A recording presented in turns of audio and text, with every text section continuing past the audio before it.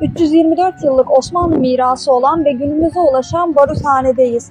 Restorasyon ile günümüze ulaşan Baruthane, müzesi, seyir terası, kütüphanesi ve kafesiyle ziyaretçilerini bekliyor. Gelin burayı birlikte keşfedelim. Ataköy Baruthanesi Osmanlı'nın gücünü yansıtan yapılardan biri olarak 1700 yılında inşa edildi. İBB Miras ve İBB Kültür ile restorasyonu yapılan Baruthane her yaştan misafirini ağırlamaya devam ediyor. Osmanlı İstanbul'un 5.